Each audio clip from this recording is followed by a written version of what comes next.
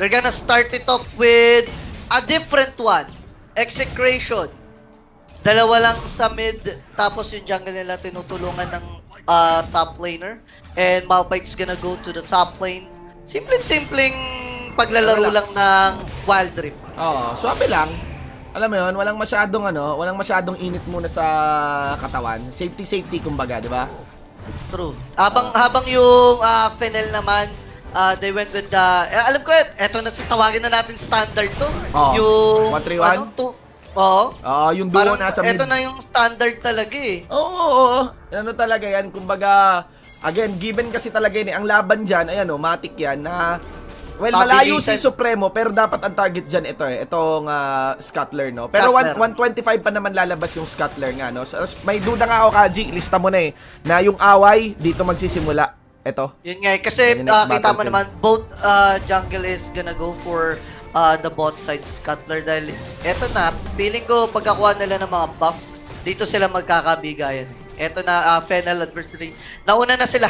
Ah, so si uh, Doming ang unang pupwesto dito, pero ang Kaji ay iko-contesto ng execution. Eto na mga kaibigan, look at Supremos pwesto. Chill lang na chill. Pero Domeng, ako, mahuhuli niya ata Oriana pero hindi tumama rin sa Lightning Strike.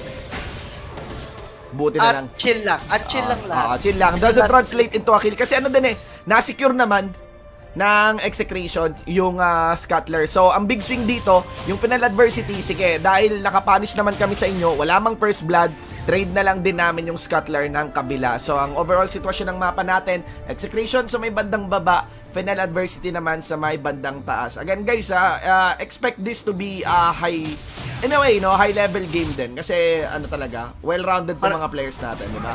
Tsaka dalawang sponsored team, syempre, hindi naman nila ipapahiya yung mga team nila. Plus, ang matindi pa nun eh, ako napansin mo eh, dalawang summoners flashes na nagamit from Penal Adversity, tsaka din sa Execration. So, uh, umuwi na yung Brom to get his boots, at tsaka yung slow, slow thingy. Mga Yeah. ghost. Ah, ano na kasi ah, again ang oras natin, well 242 pa lang naman. Pero kapag first recall mo naman tapos maganda yung bigayan sa why not, 'di ba? Kuha ka talaga ng ano, kuha ka talaga ng ah, boots diyan. And again, alam naman natin na ang laki ng binibigay na power spike ng enchantment, no?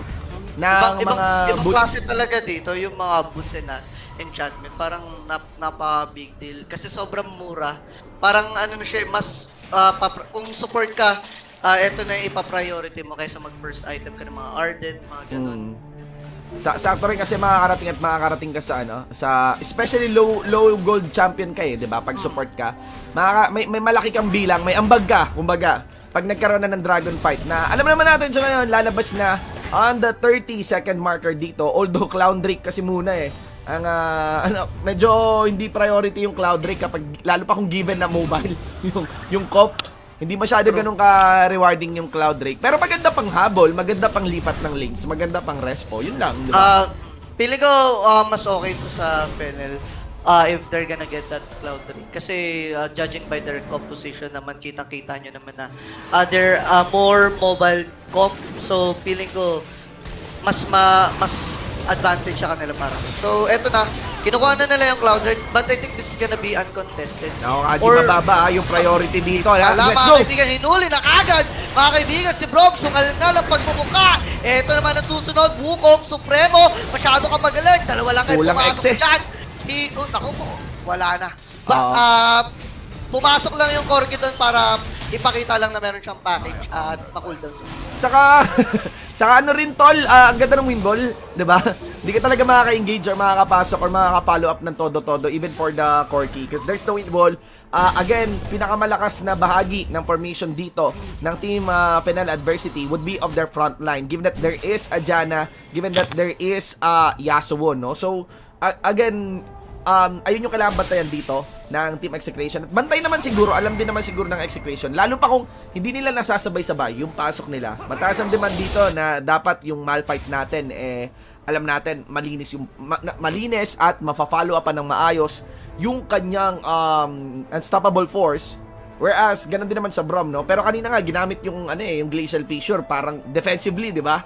Hindi nga offensively, eh. So, uh, parang, nauna na sa 1 doon yung Final Adversity at kahit sabihin natin na, oh, kami ngayon nauna mag-Dragon, kami ngayon nauna mag-Drake, hindi kami takot lumaban. Nako, nako, nako, nako. Yun nga yung naging problema nila. Parang ah, alam nila na dalawa lang sila doon. Yung Fennel uh, oh, with that five man on the Dragon kanina, parang uncontested Dragon yun eh. Dapat binigay na lang nila instead of trying to get that Dragon.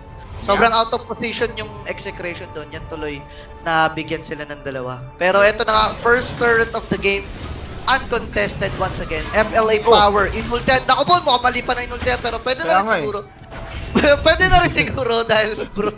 Kunyari, may iwan, no? Ka- Kaso, kaso alam mo na- yun, parang ka nag-blind date. Parang ka nag-blind date. ng tulas. So, tapos na bait and switch ka, iba yung nahuli mo. Iba yung nasungkit mo, may muscle, may bigote. So, that's it, ladies and gents. So, walang Hextech Ultimatum ngayon, yung Camille, para sa laban na to, no? Para dito sa Herald na fight. Pero pansin ko lang execration, no? Not prioritizing the Herald. Ano, eh, no? Nga eh. Um, parang iba yung gameplay nila. Nila ngayon? Oo. nila. Parang iba, iba yung tansya nila ata sa Oo, mas mabagal. Mas mabagal. Well, sabihin natin siguro baka mas maingat. Respeto siguro para doon sa mid-game spike or mid-game capacity ng isang Jana din. Ganon. Ah, ah, the, the question is, naglaban na ba tong teams na to before? Kasi parang nagkakatansyahan pa lang sila eh. Parang di pa nga eh. Unstoppable force mga kaibigan, pero sa isang tumama, pero ikot-ikot lang. Uy! Mula kay Supremo, nadadali nila ngayon ang kalaban Fissure! ng Glacial Fissure. Napakaganda, 3 man. Pero Yasuo on the backside, ito na, bidang-bida na po siya mga kaibigan. Pinag-iispada mga kalaban! Isa-isa lang, Yasuo! Damot mo naman! And look at that mga kaibigan with guys a triple kill plus another turret and an ace. Nakaisa lang. Malakas It's an talaga. ace pala. It's Ah, an ace. Malinis. It's talaga yung an tansya ng ano ng execution. I mean, malinis in such a way na well warranted yung pagiging ah, maingat nila against sa final adversity dito, Kaji. Alam nila eh na mahapdi talaga tas ang lakas sa mid game ng ah, Magaling. running cog na Magam- to. True. Magagalis pala itong mga to. Magaling. Pero for, for me lang, uh, Shingo dun ha, parang sobrang early ng engage ng Malphite. Parang kailangan niya Ah. munang i- ibangko muna yung kanyang Yung- ultimate. Yes. niya muna magsama-sama. Oo, tama ka doon, Kaji. Ano eh. Pwede namang hindi pang initiate eh. Magkakalabanan pa rin eh, 'di ba? Magkakalabanan Magand- pa rin eh. Pero, Oh, yup. yeah, kudos dun sa Glacial Fissure na bro. Kanina ng bro. Linis. Tatlo tinamaan yata. Tatlo nag-flash, nag-flash in siya eh. Hindi ko lang alam ba't siya nag-flash in. May tatak naman na yung yung ah, mga kalaban after the glacial fissure no for for that part. Ang maganda rin siguro kanina, ah, ah, naka minus 1 kasi sila kaagad sa Jana. Pero ano kasi talaga eh, ah, ang taas pa rin ng combat capacity dito ng Lee Sin, ng Camille, tsaka ng Yasuo combined. Uy, Eto na naman, another Dragon na uncontested mga kaibigan. And look at that. Infernal yan, ha? Ulti na lang ang kanya magagawa rito. Pero makakatakaso pa rin. Ang sinasabi ko, 4 man si sa pagmamukha with Yasuo. Naku, Pinel! Wompi Kompi mga kaibigan dito. Hindi pa rin sila makakapatay. Execration, what is happening to you? Nakakagulat nga yung nangyayari dito sa execration sa totoo lang. Medyo kulang sa gasolina ngayon ang ating laruan. Ang laro pa ay 111. Ladies and gentlemen, and so far Pinel is really dominating this game without any turrets taken against them, ha, tol? Grabe pala tong Pinel. Sa kaya, ano to ba, nag-mountain training ba to? Parang kakalabas lang nito siya na. Ano to eh, from Matamat- Japan. Japan, Japan, Mat- tol. Uy, kaya pala. Oo. Talaga. EXE. Ang masasabi lang nila sa EXE ngayon, Suri Machine, dahil binabalugbog sila. Sorry, machine. So, Pero sorry, ma- hindi, hindi, hindi kinuha ng Kaiso yung blue. Ginawa lang 1 HP. Ano ba yun? sa inyo na daw yan. Sa inyo na next eh. Hindi namin kailangan yan. Lamang na lamang kami. Kahit piso lang eh. Ah, yung, yung isang ano, yung isang wind up daw, alanganin baka mahuli pa siya, Betchin. Ki- Kita mo, uh, Shin, yung ah, sinabi ko, isang uh, lisin na malupit na sipa sa Oo, pagmumukha. men. Grabe yun. si Bayad- Doming. Bayad na bayad. Feeling ko ah, tataas yung value ni Doming dito. Yan. Ah, after ng tournament na to, ah, plus 1k sa sweldo. Ah, sinandoming, kumbaga, no? Ninis na. Ah, ano na, limited edition kick. Well, eto ha, ba, ma, again, ang duda ko lang, kaya ganito yung execution, tinatansya lang talaga nila, may respeto lang sila sa mid-game capacity ng Pinel adversity. Pero, if they lose another team fight, eto na yung game feeling ko lang. Eto na, Kaji! Oh, eto na, magkakauli na, pero look at that evasion from Camille, mga kaibigan. Extec Ultimatum, Yasuo na nasa loob na. Iniispada lang lahat ng kalaban. Walang nakakatira sa execration ngayon. Hahabulin pa ng Yasuo Corki. Pero hindi na yun ang kailangan nilang kill. Lista mo na yan, Oriana. Grabe. Cornered na. Kita mo naman yung Scissor King sa pagmumukha ng Oriana. Nang nakakalungkot. Booker T eh, no? Booker T na Booker T. Scissors kick. Tsaka ano tol, um, Cloud Drake, no? Ang dali makasimula sa la, ang daling makapunta sa laban. Alam naman natin na off combat yung movement speed ng Cloud Drake.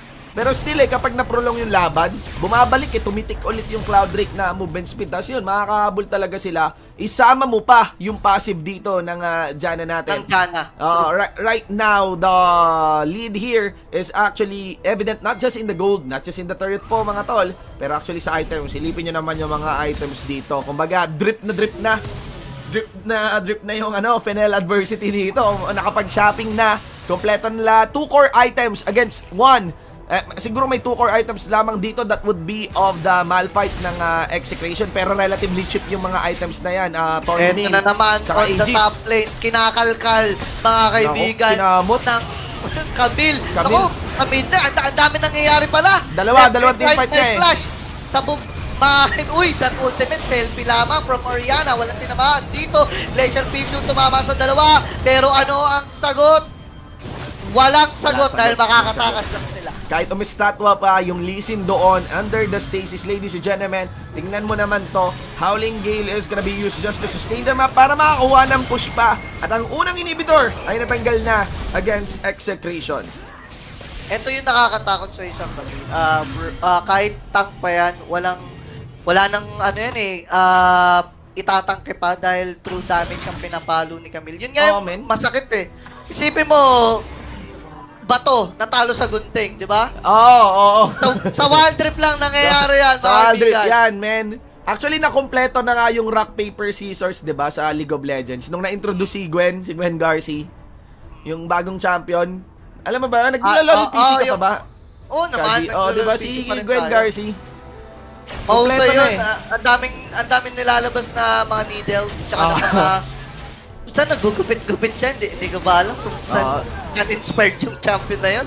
Magtatatlong buwan na yata ako walang LOL PC, Kaji. Baka mabuhat mo ako. Naku, nagpapabuhat lang din ako sa mga kaibigan nating tagaliyap. Pero yun pa nga mga kaibigan, 116 ang score, 20k gold lead. Naku po, napaka... Napakahirap nang umabol dito. Oo. Pero still, execration is still execration. Tingnan nga. nga natin kung merong Malaking team ano fight. eh. Oo, game Team changing, fight. Pero team fight. look at that, inispada sa pagmumukha mga kaibigan si Bambi rito. Wala na siyang magawa eh. At pinupush na, ito yung mahirap pag ah, Liado. sobrang lead ng kalaban mo, tapos ini-splitan lang kayo, dinuduwing tingsan lang kayo ng kalaban Yeah. nyo. Parang ang hirap humabol. May pressure lang eh, tsaka ang lambot kasi ng Torre, di ba?